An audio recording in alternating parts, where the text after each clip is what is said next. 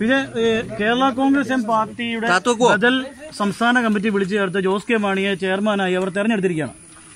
എങ്ങനെയാണ് ഇനി തുടർന്നുള്ള നടപടികൾ? പാർട്ടിയുടെ ഭരണഘടന അനുസരിച്ച് പ്രവർത്തിക്കുന്നത് സംസ്ഥാന കമ്മിറ്റി വിളിക്കണമെങ്കിൽ.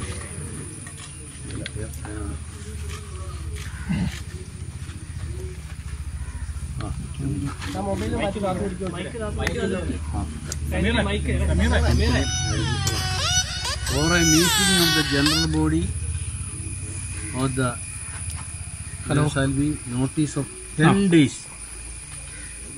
പത്ത് ദിവസത്തെ നോട്ടീസ് വേണം. അപ്പോൾ അതില്ലാതെയാണ് ഇന്നലത്തെ പത്രങ്ങളിലാണ് പറഞ്ഞിരിക്കുന്നത്. അത്രമല്ല റിട്ടേണിംഗ് ഓഫീസറുമാണ് ആരാണ് റിട്ടേണിംഗ് ഓഫീസർ പത്ത് ദിവസത്തെ നോട്ടീസ് കൂടാതെ അവിടെ മുന്നൂറ് മുന്നൂറ്റമ്പത് പേര് അവരെ അവിടെ പങ്കെടുത്ത ഒരു ബഹുഭൂരിപക്ഷ സ്റ്റേറ്റ് കമ്മിറ്റി അംഗങ്ങളല്ല. ഈ കൂടി കണ്ടാട് മുഖം അറിയാവുന്നതാണ്. വളരെ ചുരുക്കം സ്റ്റേറ്റ് കമ്മിറ്റി അംഗങ്ങളിൽ പങ്കെടുത്തിട്ടുണ്ട്. അപ്പോൾ അത് ഒരാൾക്കൂട്ടം. ഒരാൾക്കൂട്ടം ചേർന്ന് ഒരു ചെയർമാനെ തിരഞ്ഞെടുക്കുക എന്നുള്ളത് കേരള കോൺഗ്രസിന്റെ ചരിത്രത്തിലുണ്ടായിട്ടുണ്ട്. ഇതിൽ ആർക്കാണ് വിളിക്കാൻ അവകാശം? അതും ഭരണഘടനയാണ് ചെയർമാനോ ചെയർമാന്റെ ചാർജ് വഹിക്കുന്ന ആൾക്കോ? In the absence of the chairman അതിന്റെ അധികാരം എനി വർക്കിംഗ് ചെയർമാനും നിക്ഷിപ്തമായിരിക്കുന്നു. വർക്കിംഗ് ചെയർമാനോ അല്ലെങ്കിൽ വർക്കിംഗ് ചെയർമാൻ ചുമതലപ്പെടുത്തുന്നയാളോ ആണ് വിളിക്കുന്നത്. അത് രണ്ടും ഉണ്ടായിട്ടില്ല. അപ്പോൾ തികച്ചും അനധികൃതമായ ഒരു യോഗമാണിത്. ഈ തീരുമാനങ്ങൾ നിലനിൽക്കില്ല. അല്ല ഈ ഇത് സ്വാഭാവികമായി ഇതിന് അച്ചടക്ക ലംഘനം അവർക്കൊരു ചെയർമാൻ ഉണ്ടായെന്ന് പറയുന്നു. അപ്പൊ അവരൊരു ചെയർമാനെ തെരഞ്ഞെടുത്തിരിക്കുന്നു. ഫലത്തിൽ ഇപ്പോൾ പാർട്ടിക്ക് രണ്ട് ചെയർമാനാണ്. അല്ലെങ്കിൽ പാർട്ടി പിള്ളേർ അല്ല എവിടെയെങ്കിലും ആൾ കൂട്ടിയ ചെയർമാനൊക്കെ ഇങ്ങനെ നാളെ ആൾ കൂട്ടി ചെയർമാനെ ഉണ്ടാക്കും. കേരള കോൺഗ്രസ് ബിക്ക് ഭരണഘടനയുണ്ട്. ഇലക്ഷൻ കമ്മീഷന്റെ കാര്യങ്ങളുണ്ട്. ഇലക്ഷൻ കമ്മീഷൻ കേരള കോൺഗ്രസ് എമ്മിന്റെ ഭരണഘടന അനുസരിച്ച് ഉള്ള കാര്യങ്ങൾ. ഇലക്ഷൻ കമ്മീഷൻ അല്ല സ്വാഭാവികം അങ്ങനെയെങ്കിൽ ഇന്ന് നടത്തിയത് വലിയ അച്ചടക്ക ലംഘനമല്ലേ? അത് നിലനിൽക്കുന്നതല്ല. അല്ല അച്ചടക്ക ലംഘനമല്ല നിലനിൽക്കുന്നതല്ല എന്ന് ഞങ്ങൾ എസ്റ്റാബ്ലിഷ് ചെയ്യും എന്നാൽ അദ്ദേഹം ചെയർമാൻ പദവി ഏറ്റെടുത്ത് സംസ്ഥാന കമ്മിറ്റി ഓഫീസിൽ ചെന്ന് ചാർജ് എടുക്കുകയും ചെയ്തിരിക്കുന്നു. ഇന്നലെ തന്നെ അത് കസേരയിൽ പോയി ഇരുന്നു. പോയത് ഇന്ന് ഔദ്യോഗികമായി ചാർജ് എടുക്കുന്നു എന്നാണ് പറയുന്നത് കോഴിക്കോട്. ഇത് അഞ്ചെണ്ണം തന്നെ അല്ലേ? അതെ. പിന്നെയുള്ളത് ആലപ്പുഴയും കോട്ടയം. ജില്ലാ പ്രസിഡന്റ് ഒരാൾക്ക് കോട്ടയമുണ്ട് അല്ല ഇന്ന് കൂടി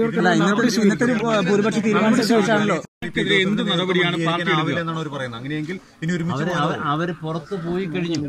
അല്ല അത് പുറത്തു പോയി ഈ ഭരണഘടനാപരമായി വിളിക്കാൻ അധികാരമില്ലാത്തവർ വിളിച്ചു ചേർത്താൽ അത് സ്റ്റേറ്റ് കമ്മിറ്റി ആകില്ല.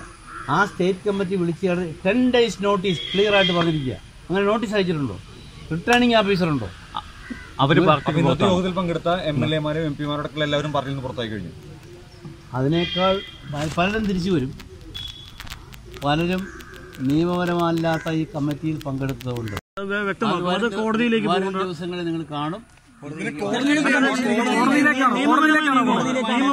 അല്ല അത് നിങ്ങൾ ഈ വരും ദിവസങ്ങളിൽ കാണും. ഇവിടെ ഇലക്ഷൻ കമ്മീഷനുണ്ട് കേരള കോൺഗ്രസിന്റെ ഭരണഘടനയുണ്ട്.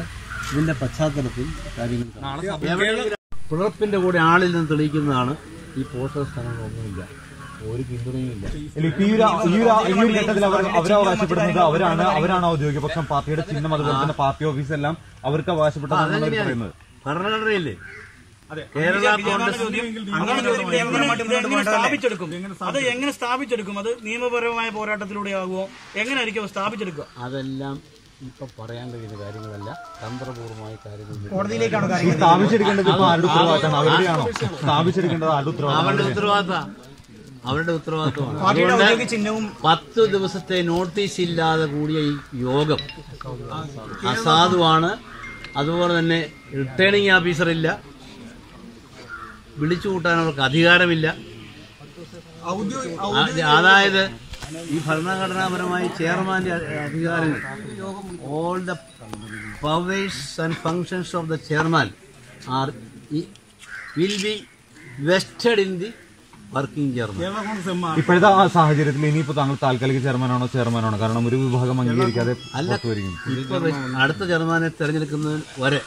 ചെയർമാന്റെ ഫുൾ അധികാരം ഇനി അതിന് ആ- ഒരു നടപടിക്രമങ്ങൾ എപ്പോഴായിരിക്കും? അതൊക്കെ ഈ ഈ ഒത്തുതീർപ്പ് ചർച്ചകളായതുകൊണ്ട് ഇതാണ്.